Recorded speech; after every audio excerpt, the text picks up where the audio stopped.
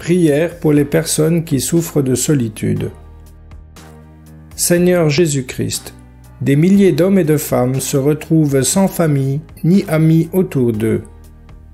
D'autres, bien qu'entourés par leurs proches, peuvent se sentir aussi très seuls.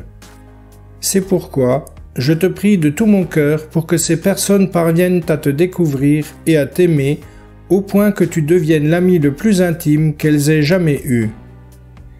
Seigneur Jésus-Christ, n'est-ce pas au moment où tu t'es senti si seul sur la croix que ton cœur s'est pleinement ouvert au Père?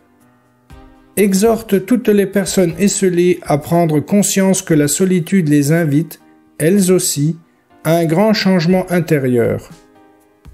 Je te rends grâce de les aider à se considérer jour après jour comme un être unique avec ses propres capacités et qualités.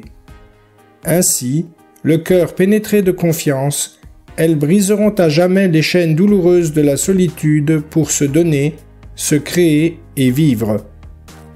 Alors chacun ne s'attachera plus qu'au seul bonheur véritable, communiquer avec les autres pour les aimer. Retrouvez d'autres prières sur mission-web.com.